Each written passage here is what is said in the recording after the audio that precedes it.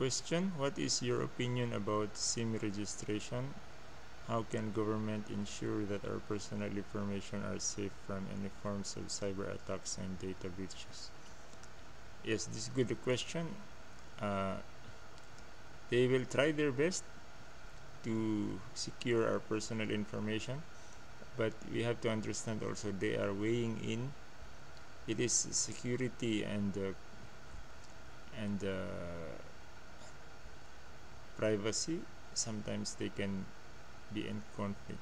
The reason the government is asking us to register our sims is so that all the numbers will be tracked. I mean the criminals you if they text they you know who they are uh, texting.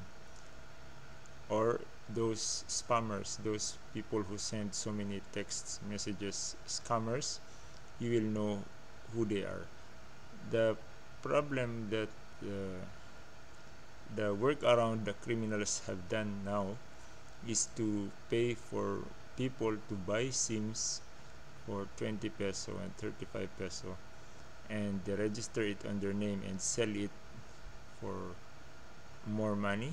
So you have plenty of sims for sale that are pre-registered already that you can use. That is another that's what the criminals seem to be doing according to what I saw in the news.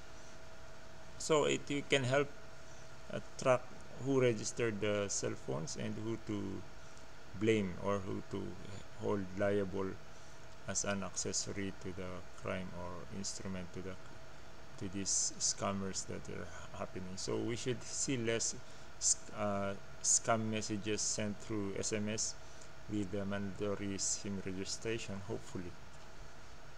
Anyway uh, you should still be aware of these uh, scams and not uh, believe okay